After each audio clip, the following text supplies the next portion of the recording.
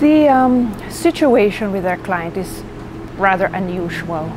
Uh, it was an unusual request because there were cats from the public area that was going into the private property of our client.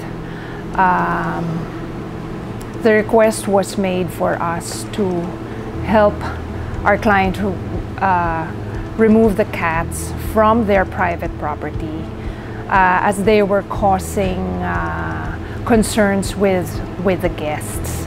Um, so they, uh, in the lack of, of uh, an organization to call uh, for assistance, they sought our help with transferring uh, the cats out of their property.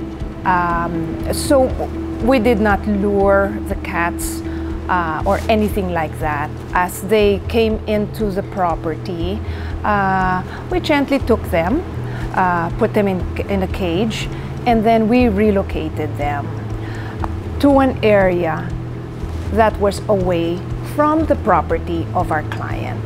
Um, and we relocated the cats knowingly, knowingly that they would survive. Uh, two locations that were disclosed by the client, uh, the, Buti, the public market, Buting Market, and the Kalayaan Avenue. It would be helpful for each and every one of us to take uh, action and responsibility and help out in addressing this overpopulation of cats. Um, this has very, very, been very, very painful for us. It's, it's a learning uh, experience and, and uh, on our part, what did we take away from this? Uh, there's a lack of cat domiciles in public areas. Uh, we can help out with feeding programs.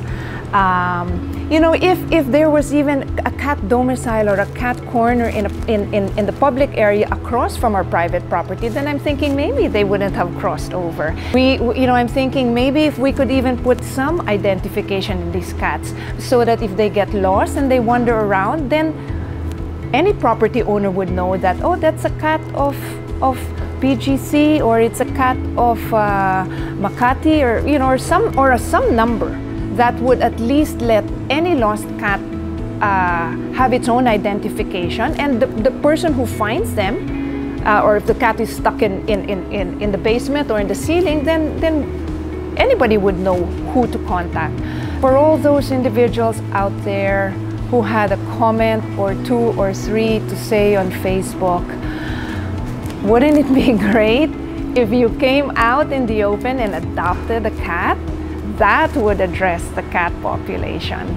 Um, help us come out in the open and let's all work together with all these uh, loving and advocates and organizations in addressing the cat population.